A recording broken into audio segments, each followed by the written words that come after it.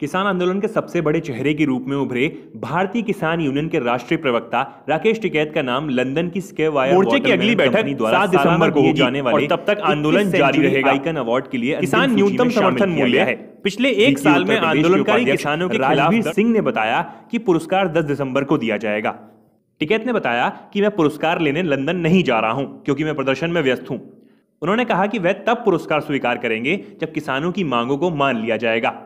बता दें कि किसान आंदोलन के करीब एक साल बाद प्रधानमंत्री नरेंद्र मोदी ने हाल ही में तीनों कृषि कानूनों को वापस लेने की घोषणा की थी। हालाँकि किसान आंदोलन अभी भी समाप्त नहीं हुआ है। राकेश टिकैत और प्रदर्शनकारी किसान आंदोलन के दौरान मारे गए 700 से अधिक किसानों के परिवारों को मुआवजा देने तथा फ़सल के न्यूनतम समर्थन मूल्य की कानूनी गारंटी दिए जाने की मांग कर रहे हैं। गौरतलब है कि केंद्र के तीन नए कृषि कानूनों को लेकर गतिरोध बना हुआ था। कानूनों को रद्द किए जाने के बावजूद किसान एमएसपी जैसे कई मुद्दों को लेकर सरकार के साथ आर पार की लड़ाई का ऐलान कर चुके हैं। इसके लिए दिल्ली की सीमाओं पर किसानों का आंदोलन अभी भी जारी है। किसानों ने सरकार से जल्द उनकी मांगे मानने की अपील की है।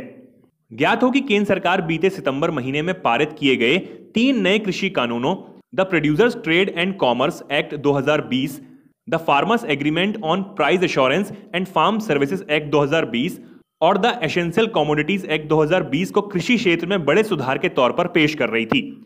लेकिन प्रदर्शन कर रहे किसानों ने आशंका जताई थी कि नए कानूनों से एमएसपी और मंडी व्यवस्था खत्म हो जाएगी और वे बड़े कॉरपोरेट पर निर्भर हो जाएँगे।